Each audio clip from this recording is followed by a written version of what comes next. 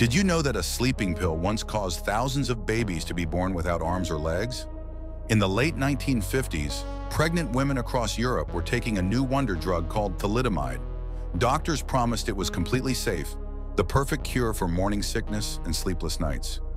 But then the babies started coming. Children born with tiny flippers instead of arms, missing legs, or no limbs at all.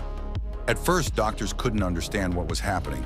The deformities were unlike anything they'd seen. Then a German pediatrician made the connection.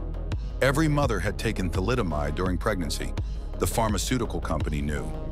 Internal documents later revealed they had covered up early warning signs for months. By the time the truth came out, over 10,000 children worldwide were affected.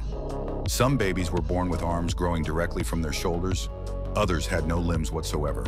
The thalidomide disaster changed medicine forever, forcing strict new drug testing laws. But for thousands of families, it was already too late.